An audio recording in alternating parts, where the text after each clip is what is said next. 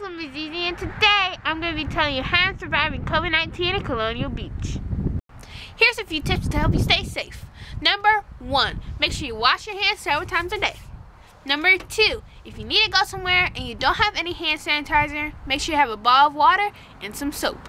Number three, don't forget your mask.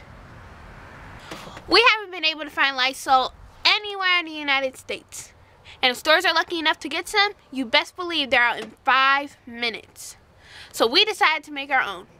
If you want to know how to make your own disinfectant spray, make sure you click the link below. Make sure you're checking up on family. I found a free app called Zoom that allows you to video chat up to 100 people at one time. Just because you're quarantined doesn't mean you can't have fun. I've been using my time wisely. I've been becoming a better basketball player been doing schoolwork from Washington District, and been taking online courses with my dad.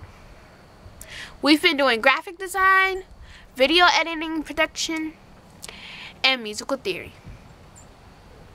I've also made time to have fun. I've been playing Roblox, been making TikToks, and been playing Sims 4. Make sure you exercise about one hour a day to strengthen your immune system so you can fight off diseases like the coronavirus. So that's it for Little Miss ZeZe. Make sure you subscribe, like, hit that notification bell, and I'll see you guys on the next one. Goodbye!